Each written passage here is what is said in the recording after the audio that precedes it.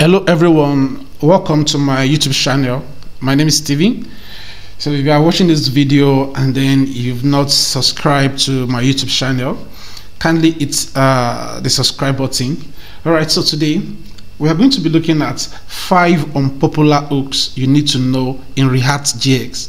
So if you are a React developer, or you are just about to start learning React JS, or you just um, you, you, are a software engineer and then you really want to know more about uh, React uh, JS, so then this video is for you. So what I'm going to be sharing today are five unpopular hooks you need to know in React JS. So uh, we have the popular ones, the use state, uh, we have the um, use effects. So those are the popular ones that we use in our projects. But the one I'm going to be sharing today, they are uh, it's, it's likely you might not even use some of these uh, hooks in your projects, but they are very, very important because it's going to help you, it's going to optimize um, your your project when you use some of these hooks I'm going to be sharing today.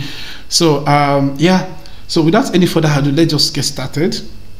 So the first one I'm going to be sharing today is use imperative handle. So the method I'm going to be using for this particular tutorial, right, is that I'm going to explain the theory first and then I'm going to show us how you can do this in your, I mean, how you can use these hooks in your code, right? um, if you the practical aspect of it, how you can implement it, how you can uh, use these hooks in your project. So first, the first thing I will do, I'm going to explain it, and then I'm going to take us to where we can definitely use this as well. Okay, so now the first one is use imperative handle. So what does it does? It allows you to customize the behavior of a component when it is accessed by a parent component using a ref right so Think of it like this.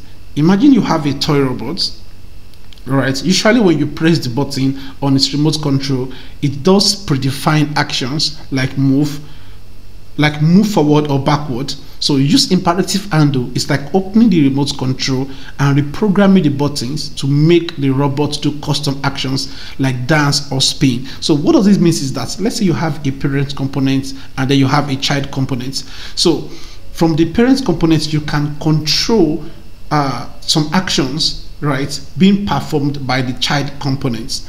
All right, so let me show us how this works. So let me just take us to the, the code base, right? So this is uh, a sample of how you can use use imperative handle. So the first thing you need to do is that you're, you're going to need use ref, right? and get and then you're going to need a forward ref as well. Then you need to import uh, this use imperative handle here. Excuse me. So now this is just a simple countdown, right? Let me show us how it works. If I click on start, so the countdown is going to start, right? And if I click on stop, it's going to stop here and then I can reset the countdown. So now let me quickly explain to us what's really happening here. So the first thing here is that we have this countdown timer is a child component while we have a parent component here this app here is a parent component so what happened is that we import the countdown timer right in our parent components and then we use useref. We define uh, useref here. As you can see we define useref here and then we pass this ref into this countdown timer and then the initialize time. You see you know it is starting from 10 here. So let's say i want to make it to start from 20 i can as well increase it here. So you see and then when i click on start here what is going to happen is that the countdown is going to start. So i'm going to click on stop right? Now so let's now go into the child component and and then let's see what is really happening there. Now we have this countdown timer we, we use this forward ref right? And then we uh, pass in the, these props and this ref parentheses here. So and then we have this uh, use states that is taking the uh, initial time right? And then we have this start timer function here. That is helping us to start the time uh, as well. So now this is what is happening here. We now defined a a function here, the stop timer, which help us to stop the time, and then we are using the the ref as well, the use ref to control what is happening, what should happen when we click on stop timer. Now here as well we have the reset timer. Now look at where we are now using the use imperative handle now. You know usually if we want to in our parent components here, right, we are defining this handle start here and we are defining this uh, handle stop here. No, you know usually if you want to do this you need to pass this uh, this function into your child components for this particular thing supposed to I mean for this action to be performed if you really want to do it usually without use imperative now what you just have to do is that you need to pass in this and undo starts undo stop and undo resets in your child components. And then from your from the child components you, you then can now use it to do anything you want to do. But with the help of this use imperative we don't need to pass this function inside our countdown timer which is the child component. So with just use ref right? Now look at it here. What is happening is that we said this uh, use imperative handle, then we pass this ref. You know, this ref is being is being passed from our um, parent components from this app, and then we are receiving it. We are receiving this ref here inside our countdown timer, which is a child component, and then we now use use imperative, right? So make reference. Okay, what should happen? Start.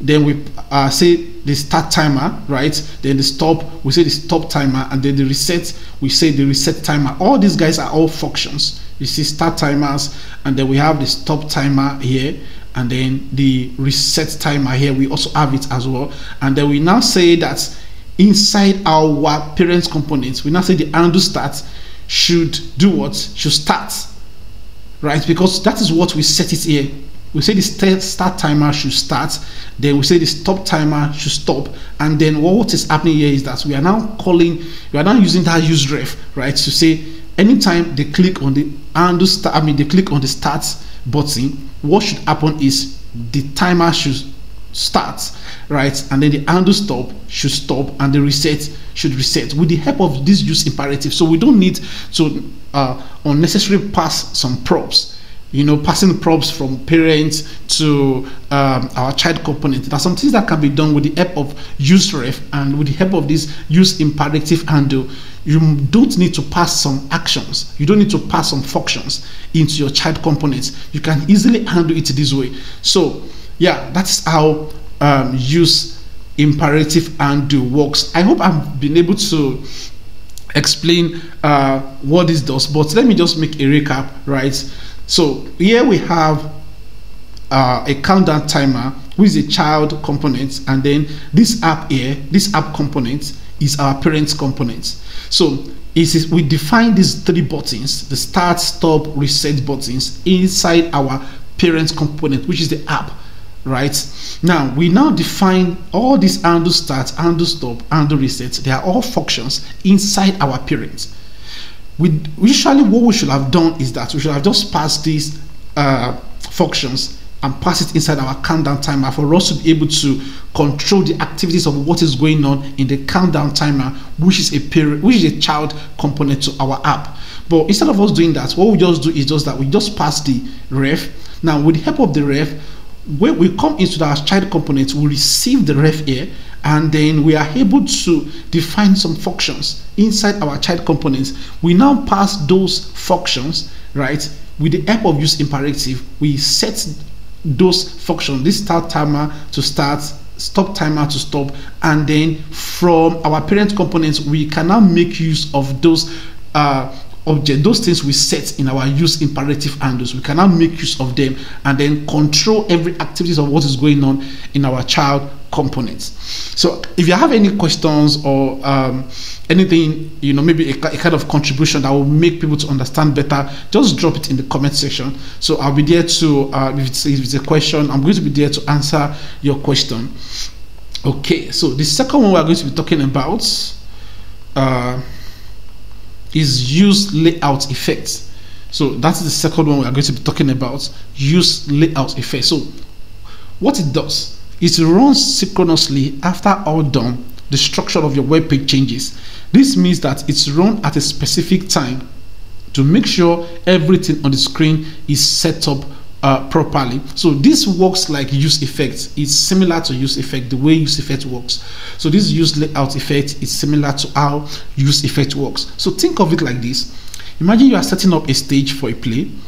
It's like checking and adjusting the props and scenery right after they are placed but before the audience sees them, ensuring everything looks perfect. Yes. So what does it mean is that now when immediately your DOM changes, like this, the structure of your web page changes, so it makes everything arranged. Maybe you want to perform an action uh, before the before your user, the user of that particular web page sees what is going on. This use layout uh, effect we, is going to trigger right? You know, just like use effects, you know, use effect. Let's say, for example, you want to make a changes on your web page, or you want to call an endpoint. Uh, uh, maybe you want to make a kind of get request, and then what you are calling from that from that endpoint, you want to display it to the user immediately they land on your web page. You can use use effects. So this also work similar to use effects, right? So enough of talk. Let me show us how this works. Okay, so um, let's come here. Okay, so yeah, so this is let me make this bigger here and then this text is not showing very well let me make it white so that we can see what is really going on here uh, let me just use an inline style okay so let's say color now let's just set it to white uh, this should be a string here uh, white. Okay so we can see so that we can see what is really going on here. So now this is a box here. This is a div.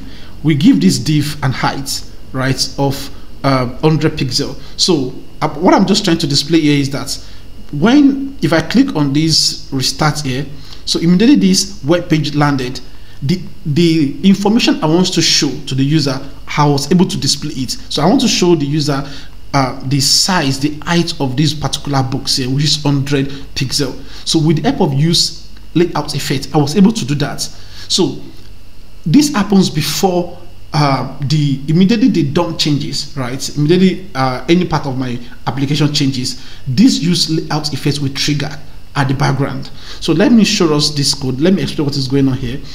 So we have uh, everything is happening inside this our uh, app component. So what you just have to do is just um, you have to import this use layout effect, and then I'm using use ref as well here. So for me to be able to get the height of the box. So here what I'm doing is just um, I, I define the ref here, right? And then uh okay yeah i'm defining the ref here sorry this div ref. I'm defining it here and then i'm passing the ref inside this div for me to be able to access the uh the DOM elements right? So we i have the style here the box as 100 pixel as you can see. That is the height of the box. And then what i'm doing here is that i am getting look at this use layout here now. So i define the state the height and the set height. And then i am getting the uh, current height of this particular box here. So that's what I'm trying to do here. So uh, I'm using this use layout effect, right? So even if you hover on it, you can see it said the signature is identical to use effect, as I've said. It said it fires synchronously and after all DOM mutations. So it said use this to read layout from the DOM and synchronously re-rendered. Update schedule inside use layout will be flushed synchronously before the browse before the browser has a chance to paint. That is before the browser have the chance to display it to the user, right? Before it have the chance to display to the user, this use layout effect is going to trigger. So that's what we are simply trying to do here as well. So we are just trying to get the eye. So this is how you can use it, uh, use layout effect in your project. So let me make a recap of what I just explained now. So what does use layout effect does? It helps us to uh, it perform uh, synchronously, right? So before the browser show the user um, your layout, I mean your web page or your any fixtures or your, or your, or your website. So this use layout effect is going to trigger, right? It's similar to what use effect does. So if you're having any question relating to this, just simply drop your question in the comment section. I'll be there to answer. So let's move to the third one so the third one is use deferred value.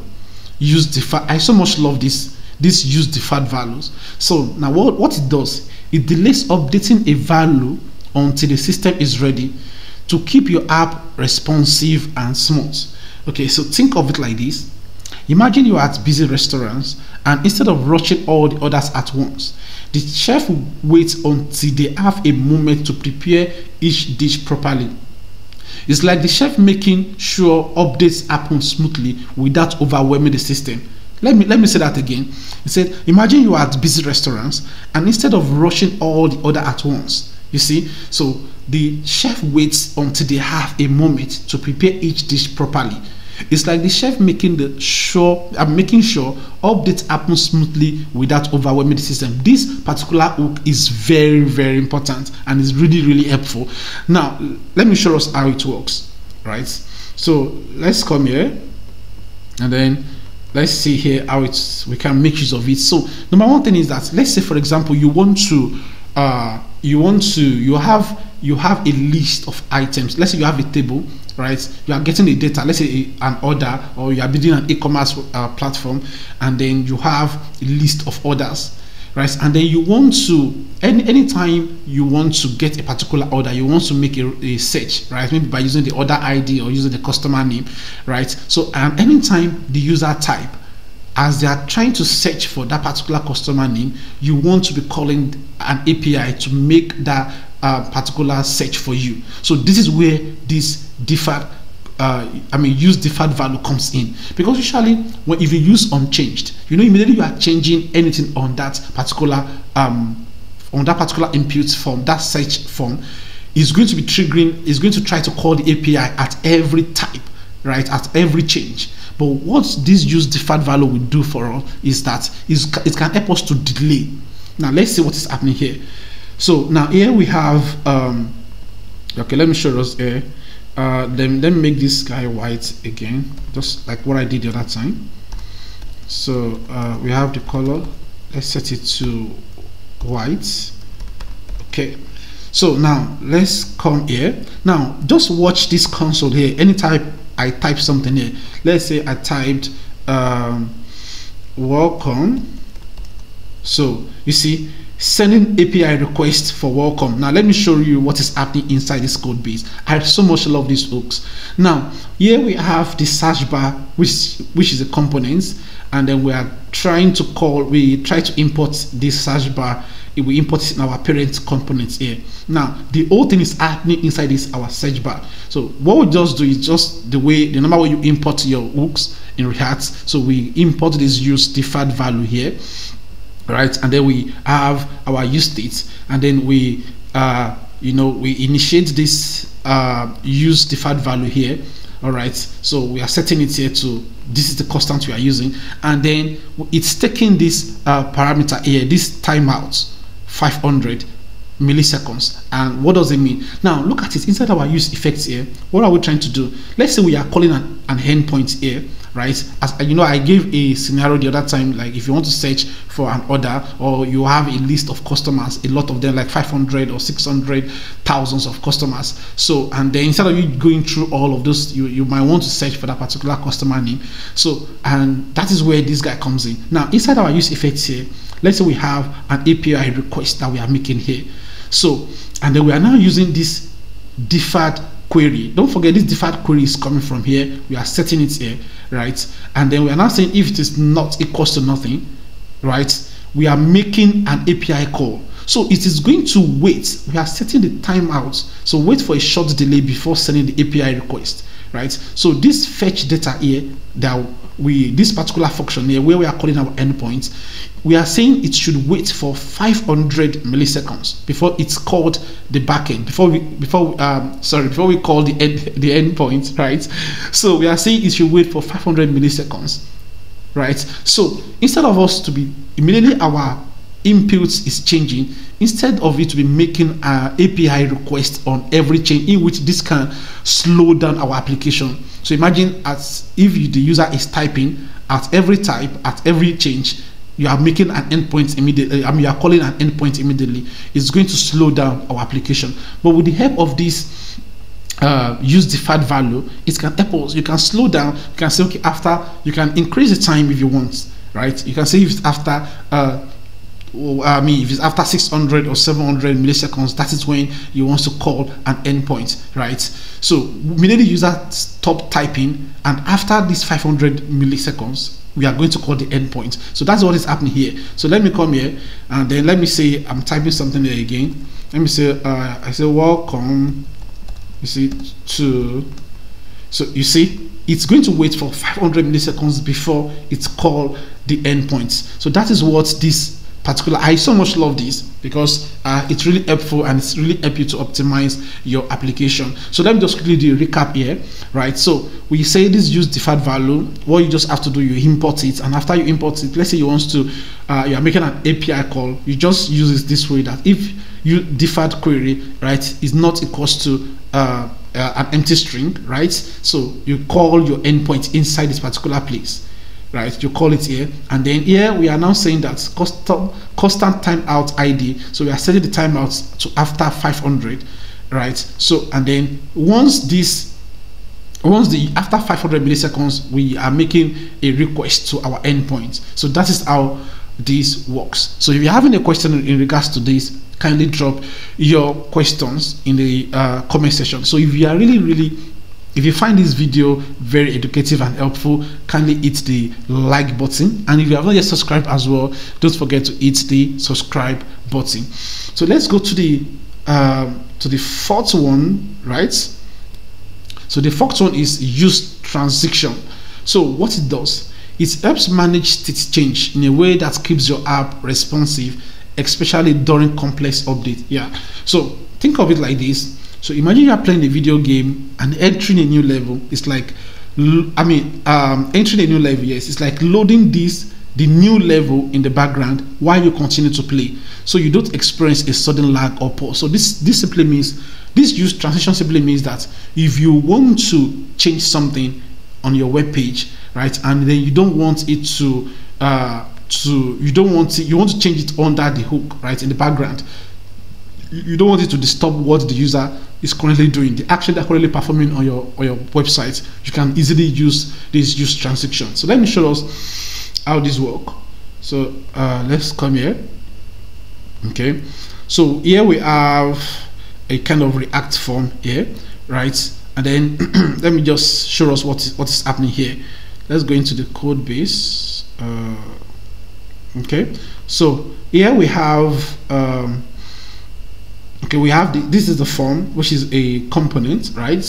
So we import this form inside our app here right? Is a child component. And then what is happening inside this form is that we have this our undo submit here right? Our undo submit function here that is helping us to submit the form.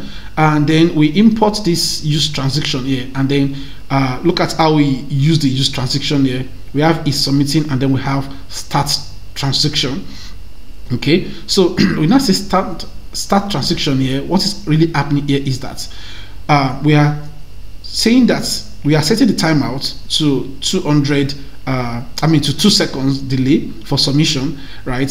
And then we are now saying that here let's say for example now you want to send this form data to an endpoint. You are making that happen here in which this is not going to disturb any actions right being performed by a user on, on, on your website. So let's say I come here now. Let me type my name here. Let me say Steven, and then I just put in uh, an email address here and click submit.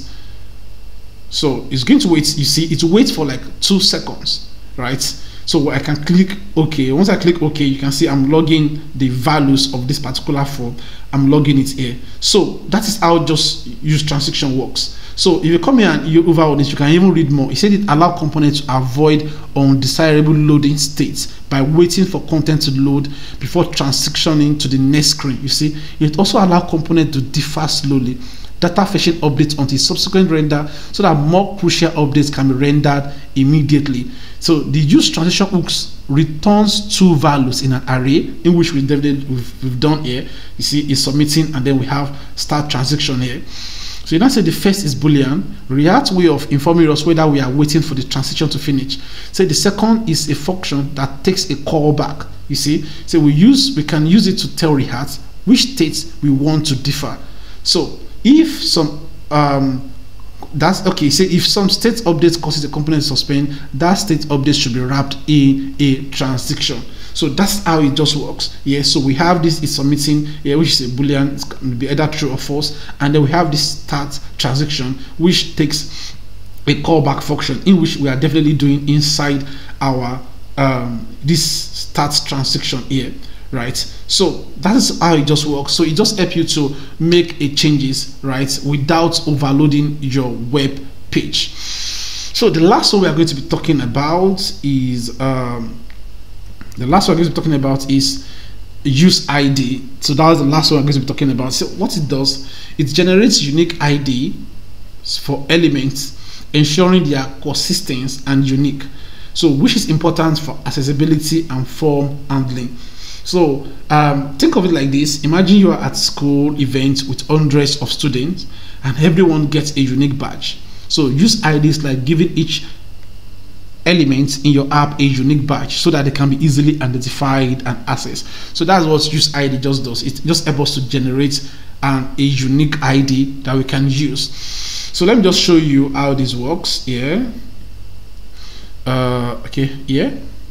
So here we have this use id this it works. So you import it the use id just the way you import your normal uh, hooks in react and then we uh, initiate this use id right? We set to this constant id and then what happened is that so our id here so we can it's you can use it for your to, to generate unique id for your form right? So here we say html for then we put the id here and then the input feed as well you can generate unique id uh, for it. So this id is going to be it's going to help your form right to have a unique id and then your htmlFor is going to i mean instead of you just using a kind of you know let's say you are building a project and then you have several inputs um, you have se several input feed right instead of you racking your brain on the unique names to give them you can easily use this use id to generate a unique id and give your input uh, feed. Just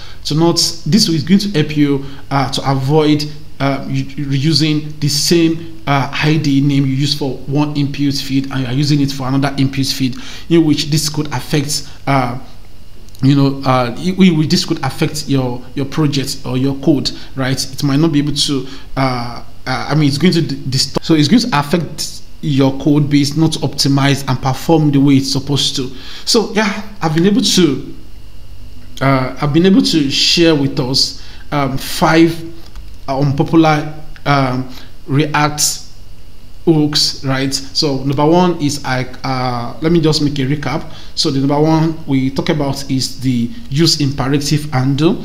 So and then we talk about use layout effects so we also talk about um, use deferred value then use transaction which is the fourth one and the last one is use id so guys if you really enjoyed this video so these are the react unpopular react hooks you can definitely use in your project to optimize your code to optimize your project right? So if you really really enjoyed this video don't forget to drop your comment. Let me know what you think about this video. If there's anything you think i might have i need to add or some of the explanation i made are not clear just let me know. And don't forget to hit the like button if you love this video and hit the subscribe button as well. Thank you so much for taking your time to watch. Bye